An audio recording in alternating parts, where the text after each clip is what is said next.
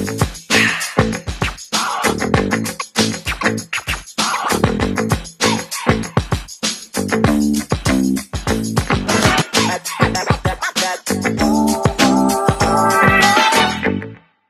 what up mga kapatid? Paolo Cordoba ng Team LA to Manila Bay. Ngayon guys, may kasama tayong isang kolektor ng mga San Francisco 49ers, Kate Chavez mga kapatid. From What's up? What's up? Uh, from uh, Bay Area, California, man. What's good? Bay Area, California kapatid. Sobrang solid itong mga collection mo kapatid. Um, ilang piraso na ito lahat? Total nito. Uh, siguro to kung over 100 siguro to tol. Over 100 na. So, actually mga kapatid, ang 49ers is history, konting history is nanggaling yun sa, actually sabi nila, pang 10 daw sila sa pinakamatandang franchise sa NFL. Yeah. Pang 10. Tapos ang 49ers ay parang ano yata eh, yun yung mga nag, Mga nagma- nagmimina. nagmimina. So, eh, yung nagmimina, kaya meron silang logo na ganito. Yan mga kapatid. Dahil, yan, nagmimina, eh, parang nung dating Gold Rush yata dati, eh, um, yun ang doon nila kinuha yung pangalan ng 49ers mga kapatid. So yun mga tol, um, for dito mga kapatid, papakita ko lang itong isang ano na to ha. Starter siya na 100% wool. Sobrang solid mga kapatid. Mas sa mga collection niya. Ano yung isa sa mga unang-una mong nakuha na sombrero dyan kapatid sa, na, sa pagkokolekta mo? Unang-una ko nakuha siguro, uh, ito. Ito, bigay sa akin ng tropa ko tol. EJ Marcelo, shoutout tol. Ito, bigay sa akin to ng tropa ko nung nag-decide ako mag-collect ng 49ers. Ding. Ano to mga kapatid? Ah, Looney Tunes? Ito yung unang-una mong ano pare? Yan, oo. Unang-una mo nakakuha na sombrero. AJD siya mga kapatid, yung brand niya, wool. Actually, nung, nung ah, nakahawak ako nito, parang hindi yata AJD yung brand na nakuha ko. Yeah. So, kung napapansin nyo mga kapatid, may reason na bakit ang daming ah, design na lumabas, mga variant ng 49ers. Dahil, anong reason naman pare? Kasi tol, nung uh, kapanahonan pa ng mga sinauna, ang 49ers kasi five-time Super Bowl champion sila eh. Aha. So ngayon, syempre, pag sikat yung team, madaming mga, like yung mga SS, Logo Athletic, Starter. So ngayon, since Super Bowl champion sila, iba-ibang variant yung tol yung mga ginagawa nila. So, yun yung history nun, tol. Grabe. Mas mataas. Mas mataas kaya- ang demand. Yes, Yeah. exactly, mga kapatid. So, tingnan natin, mga kapatid. Dito tayo pa rin, kapatid, uh, ki- dito tayo tingnan natin yung ano, ah, mga collection mo. Um, actually, ito, isa sa mga pinakamalakas na SF na hawak niya talaga, mga kapatid. Ang tawag dito ay double stoot. Kaya siya tinawag na double stoot, kapatid. Double stoot kasi tol, ah, kung makikita nyo, dalawa yan, dalawang color colorway yan. So, ito tol, ah, Super Bowl edition tong dalawa. Ito. Super ito, Bowl- Yeah, ito sample hat lang to. Ah, limited lang may hawak nito. Ah, not sure kung ilan, pero kung collector ka ng 49ers, kailangan nyo to. Yes, I think meron yatang na nakapagbenta sa Pilipinas to ng 120,000 Yes. kung nagkakamali. Yeah, totoo. 120k mga kapatid. Matanong ko lang kapatid. Magkano mo nakuha tong sombrero na to? Ah, ito, ito, ah, $1,500. So, Almost parang 70, 75 to 80,000. 75 to 80,000. 80,000 pesos mga kapatid. Yeah. Actually, kung may dalawang klaseng double stoot mga kapatid, ah, ito ang tinatawag nilang first gen. Ang sabi lang, first gen ba talaga to o ano? Ah, yun yung sinasabi nila. Pero nagbe-base na lang ako sa ano eh, sa pagkaibang colorway ng double stoot. Aha. eh. So, Yup. So ito mga kapatid, ito naman yung isang klaseng double stoot na tinatawag nilang double stoot. Kaya siyang D-stoot, ang tawagin double stoot kasi nga yan, makikita yung dalawang klaseng colorway. Ito lang ang normal na stoot. Ang tawagin naman to stoot, single, single ano lang siya, Ah, shark stoot lang. Yes, Yeah. mga kapatid. So, okay, kung papasin nyo rin kapatid, may mga iba't ibang klase ng variant, may mga iba't ibang klaseng colorway, ang mga splash, ang mga stoot. Ipakita natin kapatid. So, sa sample na natin dito sa itong SF na to. Ano pinagkaiba ng SF na yan na stoot kumpara sa isa kapatid? ito tol, kung makikita nyo, ito ang ah, stoot na first gen. Ah, malaki yung logo niya, tapos yung shark niya maliit lang dito. Okay.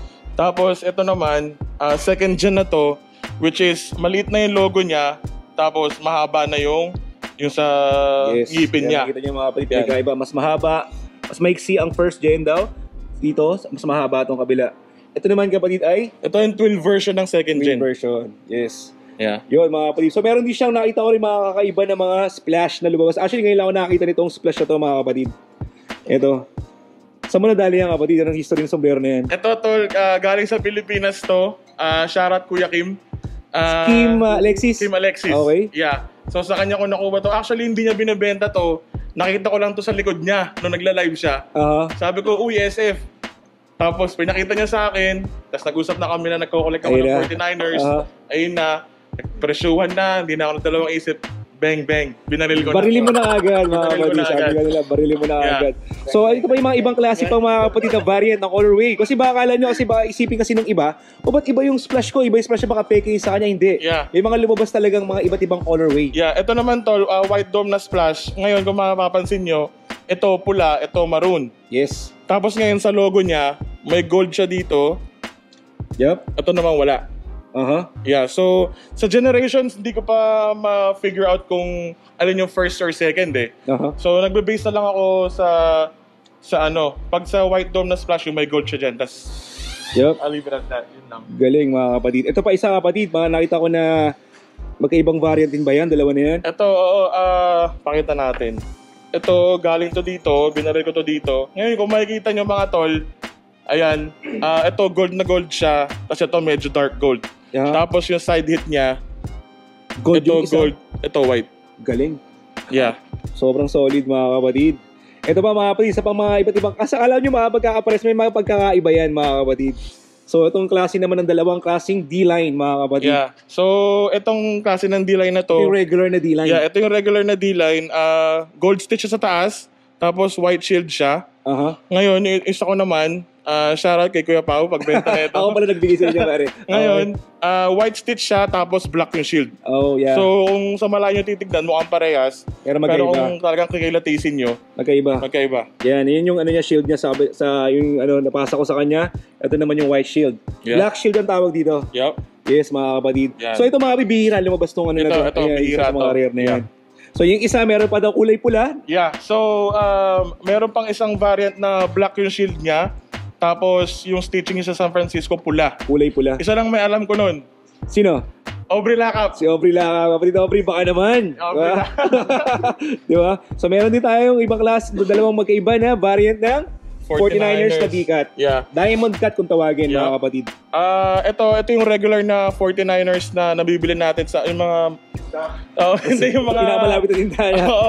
yung mga ano, tapos ito naman yung ah, tawag nila dito parang 3D like bubble something Yeah, yeah, na nakuha oo. ko kay Flow eh. Sige, So para siyang D-line ng D-cut. Kasi may, Oo. may ano siya eh, may double line, may, ano, may parang border or something na, alam mo yun? Yeah, tapos yung isang variant ng ticket is yung suot ko. Yes, mga kapatid. Yeah, yun yung 50th anniversary. 50th anniversary. Sa mga rare din niya, mga Yeah. kapatid. Tapos tol, meron pang isang variant nito. Meron pang isa, imbis na pula yung stitching niya, gold naman. Gold yung loob. Yeah, isa lang may alam kong may hawak nun tol si ah, Luis Arquillo, Snappy Time SF. Sa, sa Pilip- Pilipinas dito? Andito, tol. Andito rin, oh, Yeah. yeah.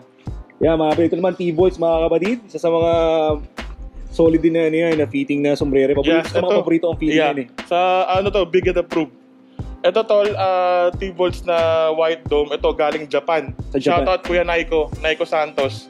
Yeah, sa kanya galing to. Solid, mga kapatid. So, isang kulay white na white dome. Yeah, tapos ito naman, yung red dome. Red, yes. So, papansinin nyo mga kapatid, talagang hindi lang to galing sa Amerika lahat. Yung iba galing Pilipinas, yung iba galing Japan, Yeah, yung iba Dubai, Dubai, ah, tapos ah, Thailand. Thailand. So, makikita nyo mga kapatid, dito ganun talaga. Pag nag-hunt ka, talagang kailangan mo mag sa buong, sa, sa sulok ng mundo, mga kapatid, di ba? Para anong pisa sa mga pinapaborito mong sombrero dyan na talagang ano? Pinaka-paborito. Ito, paborito natin to eh. Ito, ito, ito, ito, ito. ito. Yes. Yeah, pa, ngayon lang ako nakakita niyan, mga kapatid. Napaka-solid ang colorway. Ah, one tone na tail sweep. Ah, kung mapapansin nyo mga kapatid, ito. Itong tail sweep na to may football sa sa buntot niya. yes. Ito wala. Yes, tsaka kalimitan laging tuto ng tail strip Yeah. eh, di ba? Yup. Laging laging tuto Yup. niyan, mga kapatid. Pansinin niyo yung ibang mga kasama niya, mga kapatid.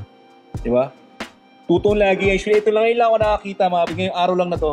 Nakakita ko ng talagang black dome lang siya na tsaka isang one tone lang na tail sweep, mga Anong tag niyan, pare? White tag ba yan o Ah, ano? Ano yung tag niya? Starter. Yeah, white, white tag, tag. mga kapatid. White Yeah, 100% wool. 100% full. Grabe. Yeah. Napaka, napaka-bisa. Oh yeah, ito pa pala yung first gen ng starter. Yung may ganito. Oo. Yes, mga kapatid. Yan. Nakikita nyo talaga ang ano, iba't ibang klase mga sombrero mga kapatid. At ito, ah, isa sa mga solid din to mga kapatid na yung shockwave nila. Diba? Um, actually, may, may nasabi ka kanina sa akin kapatid na Yeah, so dalawang klaseng variant. Isa pang isang variant. ano lang, isang knowledge lang, ah, tatlo yung variant ng shockwave natin. isang black dome, isang white dome, tapos merong red dome. Red Dome, yes. Red dome siya. Talagang all red siya, di ba? kapatid? All red, all, red. yes. Uh-huh. All red siya. Na kanino yun, Ah, kapatid? Isa yan. Ah, kukunin ko pa lang na taga UK, taga UK siya, pinapalegit check ko pa kung talagang bebenta niya or what. Wool ba? Baka ba wool? Wool. Wool, okay. Wool. Wool. Ganito din, tol. Solid mga kapatid. Yeah. Napakatindi talaga. Ano pa ba mga nakita natin ano dyan? Na kakaiba? Ito, ito mga kapatid, sobrang isa sa mga solid na ngayon lang din ako nakakita ng old. Kasi usually ito kalimitan nakikita ko old English pare. Yeah. Yan. So ito yung regular na na OE. Red stitching siya. Ito yung mga nakikita ko lang din dati. Aha. Ngayon, nabigyan ako ng opportunity ni ah, Kuya P4. Shoutout Kuya P. Salamat sa pagpasa. Ganda niyan. pre. Um, so far, tol, ah, Ikaw ang pa lang. alam- ang alam ko lang na may ganito, dalawa pa lang kami.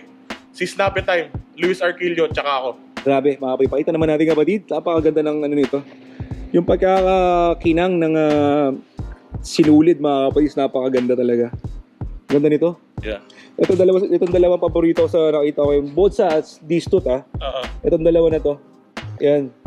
Ganda nito mga kapatid. Sobrang solid. Salamat, salamat. So yun, mga, may mga 49ers din na, ano, na Shadow, na Black Dome, may White Dome mga kapatid. Looney Tunes, yan. Yan ang mga isa sa mga solid din. Ito kapatid, it- itong ano na to. Ito. Ah, ito. Ah, ito, ito kasing... Graffiti ang Yeah. tawagin mga Yeah. kapatid. Itong mga graffiti na to, tatlong variant to, um, black dome, red dome, tsaka white dome. Ito, kahit ganito yung condition niya, binaril ko pa rin kasi kailangan sa sa collection ko. Aha. So, so yun. Aha. Nag naghahunt pa rin ako ng white dome. Sobrang solid mga Yeah. kapatid. Yes. Uh, makikita niyo yung mga pinagkaiba mga kapatid. So, talagang may mga... As in, napansin ko sa, minsan sa Pilipinas din kasi. Yeah, minsan sa Pilipinas, mapapansin ko kasi, oh, bakit iba yung sa kanya? Hindi porket yun yung hawak nyo, yun yung ano, kasi talagang kailangan nyo rin pag-aralan talaga yung mga...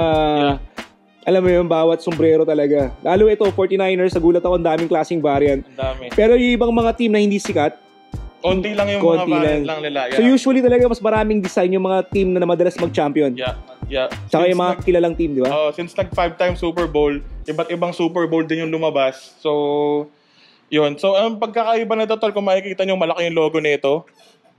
Yep. Galing. Yeah, tapos, dito tignan nyo maliit. Tiny lang. Yeah, tapos, yung sa pagkaklon niya, yung sa pagkaklon niya, red tsaka white. Hindi, parang gold yata. Ay, to. gold ba to, tol? Hindi, parang, Yeah. parang siyang ano eh. Parang metallic na white yata. oh. Parang, Oh, mga, ga- parang ganun. Yep. So, yun yung difference nun, tol, kung makikita nyo sa... Hindi ko alam yung mga generations para sa Chloe, pero I just base it off kung dalawang version din, dalawa. Yes. So, yun. So, kapatid, um, tao rito, ano yung isa sa pinakamahal mo naman binili? Talagang binaril talaga dyan. Ah, honestly, um, itong dalawa talaga tol eh. Ito, 1,500 each eh. 1,500 is sa mga 80,000 each mga Yeah. kapatid. 80k. 80,000 each. Grabe. Pero dalawa yung ganito mo dati, di ba? Dalawa yung ganito ko talaga. Ah, nung pinost ko to, ah, syempre, nung pinost ko yung collection ko, madaming nagbebenta ng mga ganito kasi limited lang talaga lumabas to eh. Yeah. Ngayon, nung in-offer sa akin, hindi na ako nagdalawang isip, binal ko na agad. Yep. Ngayon, nung pinost ko naman, since nagko-collect siya ng mga, ano, mga limited na release, Mhm. hindi na ako dalawang isip. You know, buy for my price. If you want it, take it. Exactly. Ganun naman Diba? talaga ang pagko-collect mga kapatid. Pagka lalong kinokolekta mo, hindi mo na kasi isipin na pang i-resell pa eh. Pagka nagko-collect ka, kahit magkano yan, pagka yung opportunity talaga, kailangan i-grab mo na pag sa dumaan na sa harapan mo. Kasi talagang hindi mo, bihira na dumaan ulit yun eh. Bihira na dumating ulit eh, di ba? Tsaka lalo ngayon, pahirapan talaga na may yung parang yung magre-release, ang hirap, ang hirap talaga ngayon. Hirap. Sobrang, iba na ang game ngayon, mga kapatid, kumpara dati talagang pahirapan na talaga ng ano ngayon. Ang, uh, kung sino mag-release.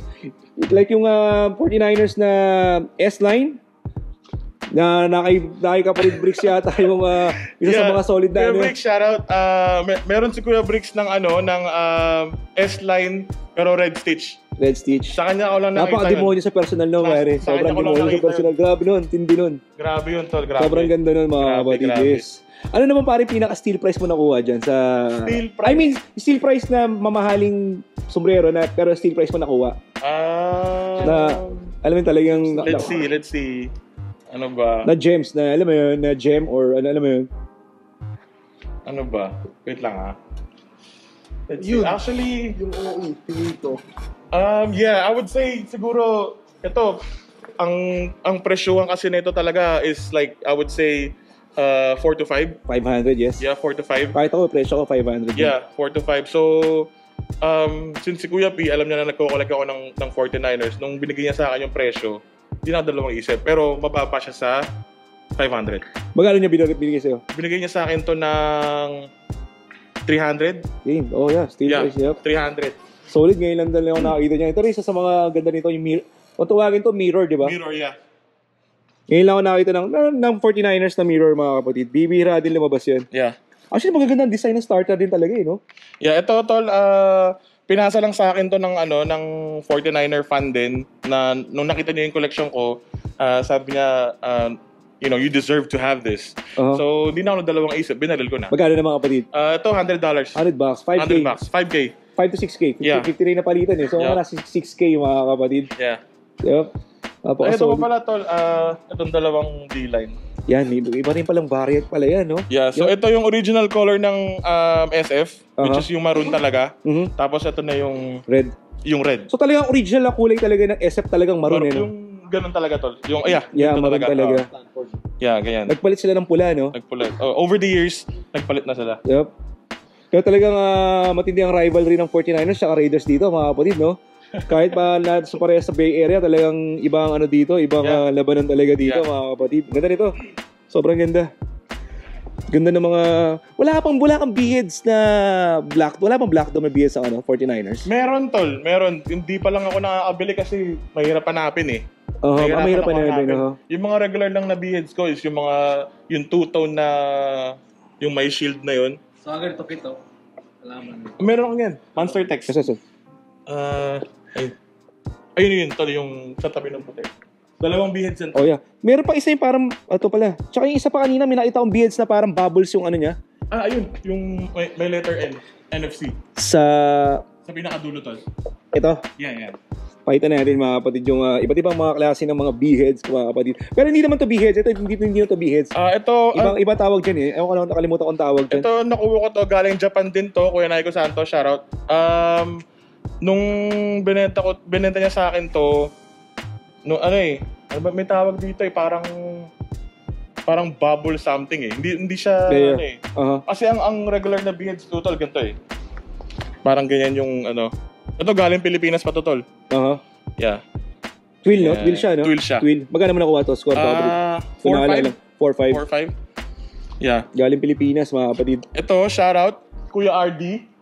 Shoutout. RD mga kapatid. Dave. Ganda nito, Chong. Ngayon lang din ako nakakita nito. Kaya siya behead mga kapatid, blackhead talaga siya ng American Needle. Di pala beheads, behead talaga. Beard, yeah. Black. Behead. So pag marami, beheads. Di ba? So yan mga kapatid, yan yung mga collector talaga na napaka-solid talaga mga kapatid. Ito pa isa. Yep. Pero tingnan mo to, lumag- lumagpas siya kasi oh. Ito talaga tayo Yeah, lumagpas. pwede, pwede to. Pwede tayo lumagpas, di ba? Galing. Oh, So nakakakuha tayo ng mga idea ng mga, alam mo na, buburda natin. ano naman, hindi ang burda lang talaga eh. Yup. Ang Galing mga kapatid, sobrang nakakalula. Talaga malulula ka. Kapatid, ano pang mga kulang mo? Ano pang mga... Um, kulang ko is yung um, Black Dome ng T-Volts. eh, alam ko na na kanino? Uh, may alam ko nasa Pilipinas eh. Uh, alimutan ko yung pangalan niya pero in contact pa rin kami. Ayaw pa let go. Aha. Um, tapos dito, kailangan ko pa ng white dome na graph. Wool yun, wool. Wool. Wool ah. Yup. Wool yun. Tapos sa mga big logo, may tatlo pa akong kulang. Isa pa lang ang big logo mo, no? Isa pa lang, isa big, pa lang. ito ang big logo. Ito naman guys, sa mga bago nanonood ng mga bago nanonood ng sa sombrero ng mga vintage, ang tawag dito is big logo. Yan. Yan ang tawagin nilang big logo. Yung malaki yung ano. By the, The game.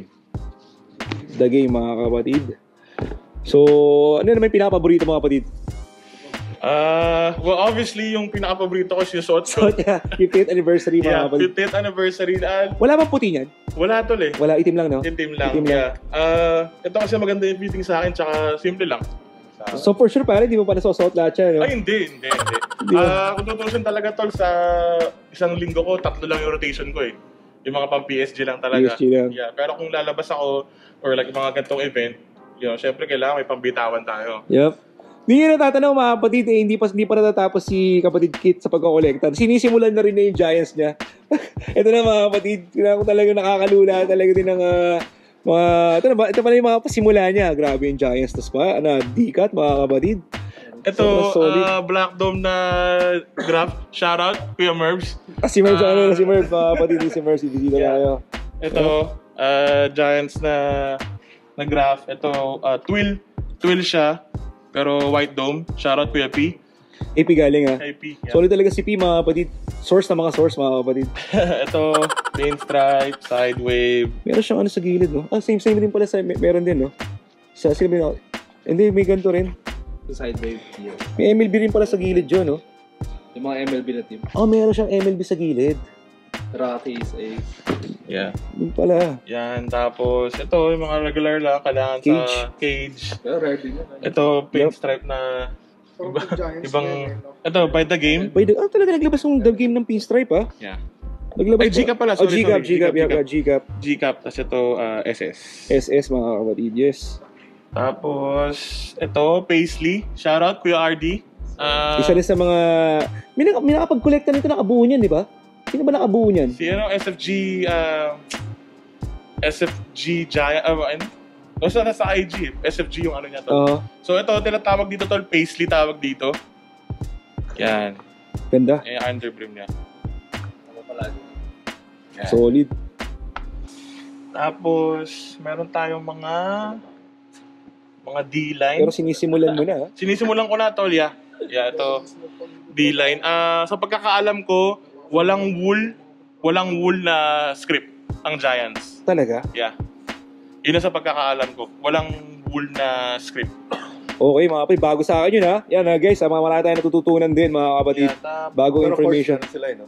Yung course na ganyan. Na script. Court na. meron. Meron. Tapos, yun, yung mga typical na black dome laser. Ganda ng black to laser, oh. May kinang, no? Mapapansin niyo mga kapatid, pag MLB, usually maliit ang ano, ang ah, ano sa ang logo ng Sport Specialties mga Yeah. kapatid. Ganyan ang logo nila. Yeah. Lalo pag MLB ah, MLB team.